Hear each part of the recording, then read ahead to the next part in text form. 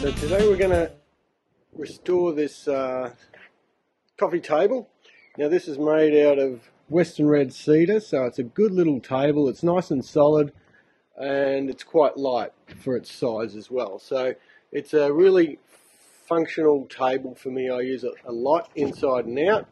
And let me show you what we're going to need for this job. And here we have it. Uh, so we've got the belt sander. Uh, you could use an orbital sander on, on this sort of table. Um, take a, little bit longer, um, but you know I've got a belt sander, so that's what I'm going to do. Um, so that's a 60 grit paper. That's all I'll need for this. So I'll tear over the top of that and the edges. This is an 80 grit, so I'll just use that uh, a couple of pieces in my hand and and sand that back fine. Maybe I'll go to the 120 over the top of that. And then after that we'll just pour some straight beeswax in there. Slice it off. Now the trick with uh, slicing off that beeswax is you've really got to time it well. Leave it too long and you'll have a lot of trouble cutting through it. If you go too early well you're going to pull it out and rough it up. Then we're going to finish it off with this uh, beeswax linseed oil mix um, and this is excellent for outdoor tables, indoor tables for that matter, but you can see it's quite a, a strong paste. Um, and yeah, that's uh, really good for uh, furniture polish. Uh, and then we've just got a couple of applicators. So I heat this stuff up and dip this in and rub it on, um, and then you know finish it off with a, a, a, another cloth and then after that's applied I then rub it off with a nice clean cloth as well to try and get all the residue off. But um, that's what we're going to need. It's going to be a quick and easy job. And this is going to come up beautifully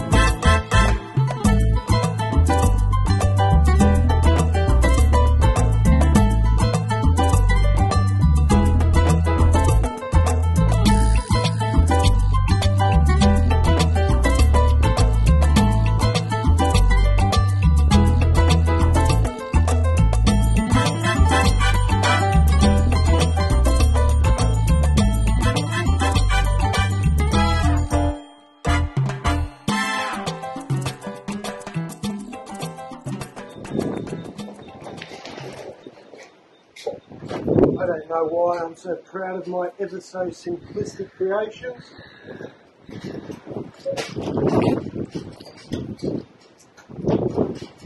I am. Fresh rainwater.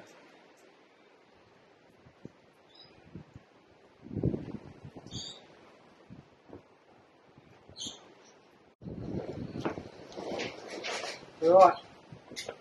So we're going to melt down some hot wax and pour it into these gaps and hopefully that'll come out well.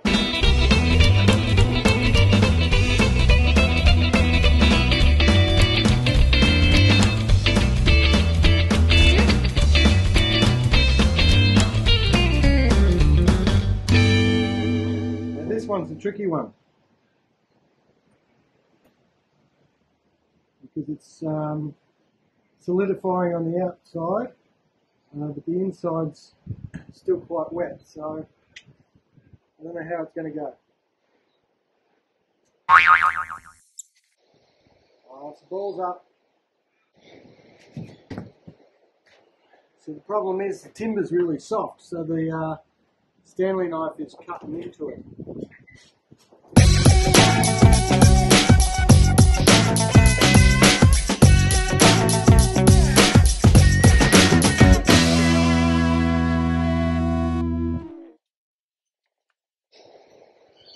It's not perfect,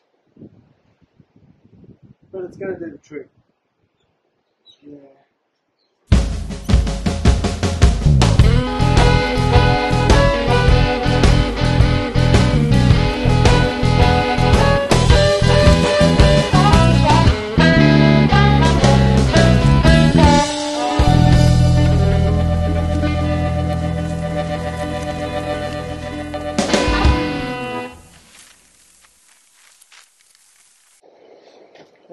So that's pretty much it done.